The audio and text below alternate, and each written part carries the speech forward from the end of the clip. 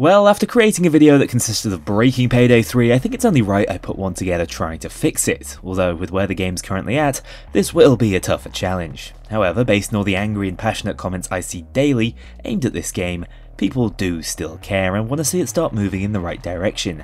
I watched Mio and Elizabeth run a sort of pre-patch note stream last week, running over a bunch of upcoming gameplay changes in future updates, and whilst I personally think they did a great job and the plan changes are almost unilaterally positive, they know as well as we do that a few tweaks to skills, the techie and the R900 won't bring the disenfranchised community back to the game. So the question now is what changes would be sweepingly impactful enough that they could revive the player base up to the numbers I imagine they were anticipating prior to launch. This video is going to run you through the first 5 steps I would take to turn Payday 3's fortunes around, to set it on the right trajectory and finally stop languishing in only the hundreds of players on Steam. First up, and I am presenting these changes in order of importance in my opinion, so number one is a huge change I want to see Starbreeze make. Simply, you've got to fix your matchmaking guys. Currently the player base is being spread out across 11 heists, each with 4 possible difficulties to attempt, most with 2 possible approaches. That means matchmaking is filtered across 44 queues, and it isn't even as if you'll always be matching it with players who want to play the game the same way you do, even if you do happen to get lucky enough to stumble upon a non-barren lobby. For a cooperative online game, this is a travesty. Instead of the current system, all lobbies need to be searchable, filterable, and we should be able to host our own lobbies based on a desired tactic. To me, this is virtually non-negotiable. We know the player base isn't what it could be, but even with a player base in tens of thousands, this system would still cause matchmaking problems. Compared to Payday 2, where so long as there are three other players online, you can feasibly find a fully filled out lobby. This is a joke. Anytime you try and find a desired heist, it's a complete shot in the dark as active lobbies don't show up, and once you do finally come across the other three players who happen to click the same button as you, you sure as hell better enjoy that 10 minute heist, as the lobby automatically disbands as soon as it ends. Socially, it's a nightmare. I can't imagine making a friend online in this game, but also just in terms of user experience, it's fiddly, unintuitive, and horrendously frustrating. The even greater sin is that they literally have the perfect blueprint for how to do matchmaking the right way with CrimeNet. Of course, it being a peer-to-peer -peer system over dedicated servers does complicate the process slightly, but I don't see a reason why at the very least we're not able to actively view what other players are playing online to give us a better chance of joining a filled lobby. Payday 3 does have its other issues, don't get me wrong, but in hindsight, this was the most egregious decision made for the game that's massively holding it back, regardless of what you think of the overall gameplay. It's hurting replayability as the time between heists is much longer, players are logging off faster as a result of that, and at the end of the day, unless you're expressly playing with a group of friends, no one actually feels like they're a part of a team. It genuinely infuriates me just how much they dropped the ball when it came to matchmaking and servers in Payday 3. Speaking of servers, I'm sure someone at Starbreeze gets a shiver up their spine anytime they're mentioned, after how pivotal their disruption was to Payday 3's overall lack of momentum at launch. Their downtime on that all-important release week was a nightmare, especially after a reasonably successful early access window. But whilst we haven't seen any more serious downtime after that troubled launch, I still think the lack of an offline mode is a problem. To put it simply, Payday is a game that plays well in single player, even if that wasn't how it was intentionally designed. In fact, for some people, it was the only way they could play the game, often due to spotty internet connections. So why alienate these portions of the community just so you can enact some highly ineffectual form of DRM? The reputation and player base drop off cannot be worth it. With recent difficulty changes and AI buffs, solo is a lot more tenable, so I see no gameplay reason for solo offline not being an option. Single player can actually be more enjoyable in Payday 3 in my opinion, as it reduces your ability to speedrun objectives and effectively bypass any difficulty, drawing out more of what makes the gameplay good and satisfying. Why not just play invite only then, I hear you ask? Well, first, it doesn't actually work for some reason, as I often have people joining off my friends list uninvited, but more importantly, even invite only lobbies require you to connect to and join a server, meaning if you have a poor connection, or just happen to be located a fair way away from the AccelByte servers, you'll have a degraded experience. Whether it's a little bit of visible lag or a full-on drop connection causing to lose all heist progress, it's still a nightmare, and one that could easily be avoided at that. Just give us the ability to play offline. I think at this point it's been fairly well proven that the pros of doing so heavily outweighs the cons. I personally am beyond fed up with the high ping indicator popping up in the top right hand corner of any recording when I'm working away from my standard setup. it's the main reason why I haven't made a Payday 3 video in over a month. Third up on my list of things to fix, we're finally going to get away from the technical side of the game and actually touch on where I think the game's gameplay is at its weakest, that being its cross-heist randomization and as a result, replayability. For a live service game, this is crucial, and as I mentioned earlier, I do think fixing online functionality could do wonders for that replayability, if just because the experience you have in a full lobby is always different from heist to heist. But after playing a lot of Payday 2 recently, I have come to the conclusion that it does randomization better than any game on the market, and Payday 3 desperately needs to learn from it. Sometimes that's via specific RNG events like fixed enemy spawns or random objective placements. Others it's just due to the true randomness of the game's enemy spawn system. Running into multiple dozers at an inopportune moment never feels fair, but Payday 3 has gone too far in the opposite direction. It's too fair to the point of being abusable. Scaling heist difficulty just doesn't work for me. Even with the upcoming overkill changes, I still think reasonably efficient squads will have finished any heist before actually being challenged. The game is too easy, and once you've finished all 11 heists once or twice, you will have experienced virtually all there is to experience. In other words, the game is predictable and overly reliant on just having solid gunplay and stealth mechanics. Once the novelty of those wear off, you're left with a bit of an empty shell and few engaging reasons why you should keep playing the game. I want a heist like Go Bank was to Payday 2, where the objectives vary tremendously depending on a dice roll, or something like Reservoir Dogs Day 1, where the initial ambush is always full of surprises, no matter how many times you've completed it. Currently, Payday 3 is not enough of a sandbox heisting game. Everything feels very linear, and once you have a solid grasp on the assault mechanics, you should always feel in control of proceedings, which is not how a Payday game is meant to feel. I think the level designers need to universally vary up the spawn logic so that SWATs can actually surprise you again instead of appearing from about three different primary locations on every heist, and I also believe they should do away with the scaling assault mechanic, or at the very least change how it's currently tied to objective progress instead of waves survived. It's too easy to abuse, means we hardly get to see Payday's iconic special units, and results in the game having a very shallow learning curve. The fourth fix I'd recommend takes us out of the heist and into the menus, as I believe Payday 3 needs to see some serious improvements to its RPG mechanics and skill builds in particular. Whilst I'm actually a fan of the Grit Edge Rush system and think that the skill lines work well in isolation, the skill building system itself is what's really letting it down in my opinion. At the moment, builds are too flat and samey.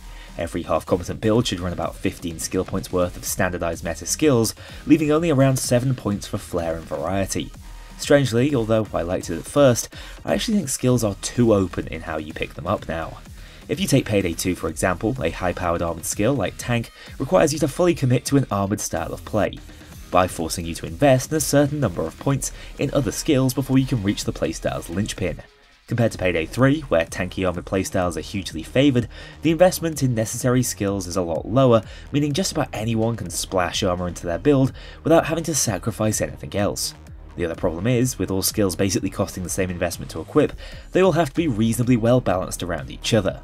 Not only is this a thankless task, resulting in a clear meta, which again isn't good for variety or replayability, it's also led to very few fun to use or distinct skill options. Again, looking back at Payday 2, the tiered tree enabled the designers to create skills with power relative to their cost, meaning they didn't need to be restricted by their relative balance to one another, as is the case in Payday 3. Basically, the current system makes it too easy to grab what you need without making any compromises, homogenizing builds from a role-playing perspective. For example, I could play an engineer and run sentry guns, but outside of a few points invested in that tree, I'll always just run the same, relatively boring utility skills I do on every other build. My solution would be to categorize the skill lines like Payday 2's trees and create some ultimate skills that require a certain level of investment to gain access to.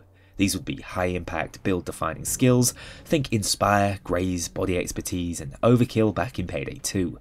Not only would they contribute towards the power fantasy that seems to be sorely missed from Payday 3's more grounded gameplay, they'd be balanced around forcing you towards certain playstyles to gain access to them, giving you more of a distinct build identity and role-playing purpose within a team.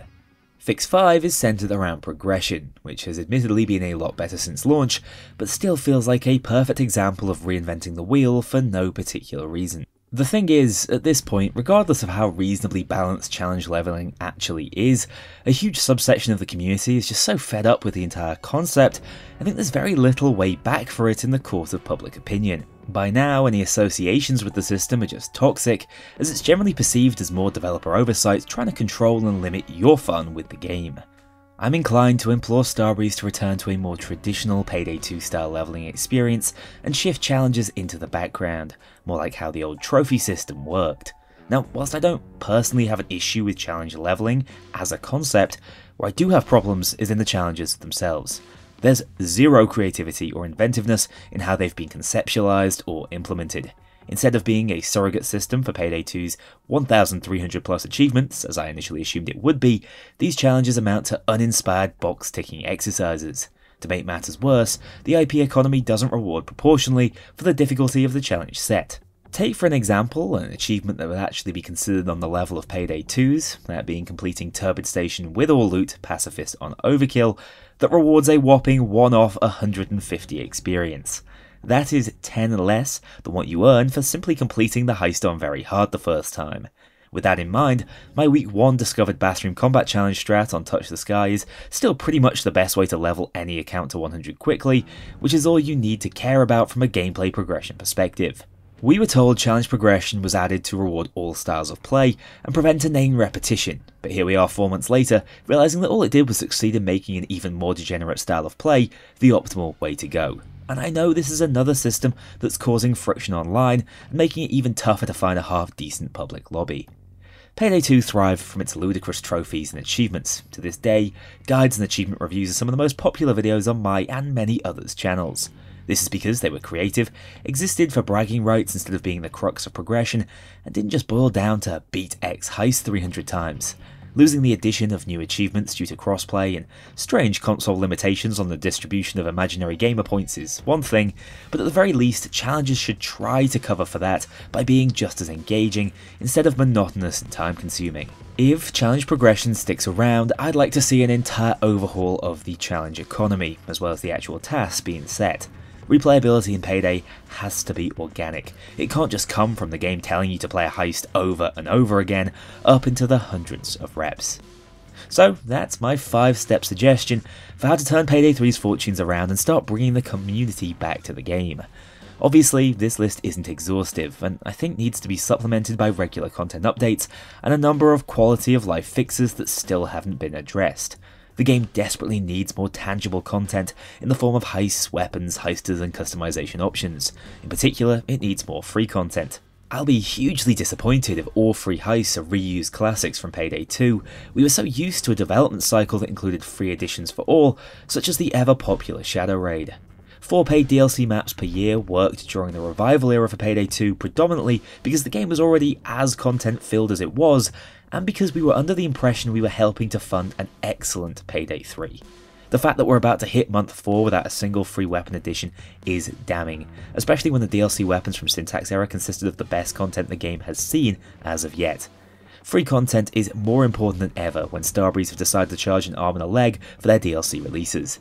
The value proposition for owning the Gold Edition is now solid, but only if the game's servers are still up in 12 months' time so it's key that all players feel like they're a part of the community, regardless of how expensive their edition is.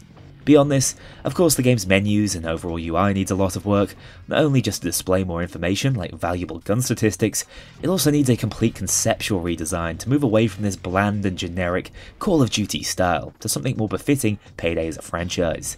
CrimeNet was obviously a huge part of that in the past, but there is just something about Payday 2's menus that are more evocative of a hidden criminal network. It gives the game more soul. I'd love to talk to someone who's played Payday 3 without touching another piece of content within the series. I can't imagine they'd even have a strong opinion about which heister is their favourite, because none of them bring the personality they once had, outside of a few static cutscenes that me and the 10 other Payday lore enthusiasts are paying attention to. It was such a wasted opportunity not having them interact in any way on Heist. They're by far the most pivotal element surrounding engagement in the entire IP, and yet they're insanely underutilized in Payday 3. That aside, we need better communication features for online, lobbies need a vote kick function to fight back against griefers, controller functionality needs to be fixed as it sounds like a nightmare to even play the game on console, and finally we need to be able to unready up for a heist. The fact that 4 months on from launch we're still being frustrated by that lack of functionality is particularly damning in my eyes, as these should just be standard user features that were picked up as missing and fixed the first week into development, never mind 4 months post launch.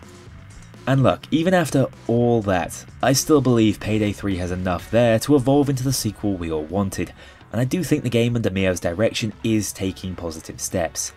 I ran a two hour long casual interview with him that you can view on my second channel, discussing the game's past, present, and future, and I have a lot of faith in him personally.